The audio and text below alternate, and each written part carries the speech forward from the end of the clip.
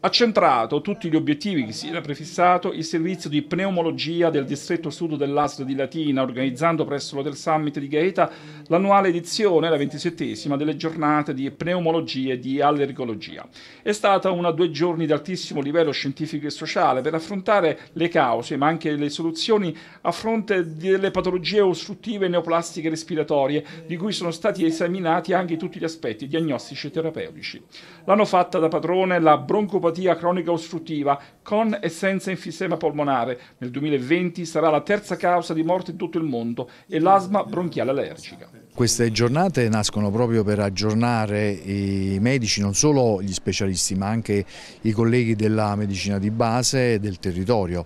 Con, nostro, con la nostra direzione generale è stato attivato un percorso particolare per questi soggetti che sono pazienti respiratori cronici che hanno bisogno di uh, una, un canale preferenziale per accedere ai nostri servizi.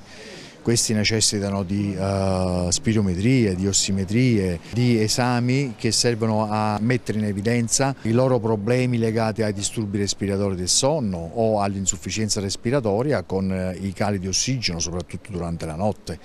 L'ASL di Latina sta cercando di dimezzare, o meglio di ridimensionare i costi di gestione economica per la cura e l'assistenza dei pazienti affetti da queste patologie respiratorie. Il monito, arrivato dal presidente delle giornate di pneumologia e allergologia, il dottor Ermanno Kugler, di coinvolgere soprattutto i medici di base, è stato accolto e anche condiviso dal direttore sanitario aziendale Giuseppe Visconti.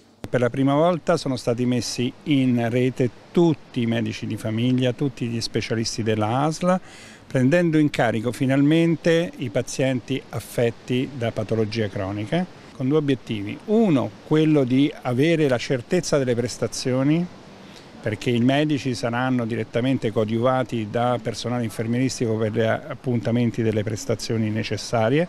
Due, per la completa eh, e sicura adesione alla terapia che sarà eh, garantita dagli infermieri.